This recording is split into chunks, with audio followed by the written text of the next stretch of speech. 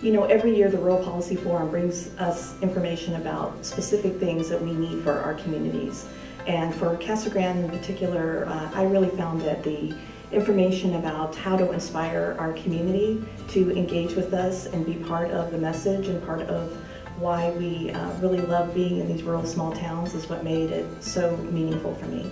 The Rural Policy Forum is important for so many different reasons, and that includes the fact that people are wearing so many different hats in rural Arizona that it's a time to get inspired, to take a breather, share your own story, bring your problems, collaborate, uh, and then also just great professional development. So in one spot, you are getting to learn about so many different topics, but I think the real value is in seeking out exactly what you want to know from peers and other communities that might be facing those same opportunities or challenges. The main takeaway from the Rural Policy Forum here in Thatcher Safford this year was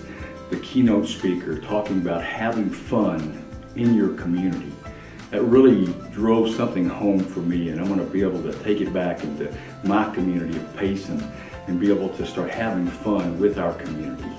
Here at the Rural Policy Forum, um, it is a collection of uh, cities and municipalities that bring an enormous amount of knowledge. Um, it really uh, allows other communities and municipalities to build capacity, to strengthen uh, their sustainability, and to learn from each other. As I reflect on this year's Rural Policy Forum, I think my, my colleagues and fellow organizations in Graham County and other rural communities, I think they're going to leave with a lot of aha moments about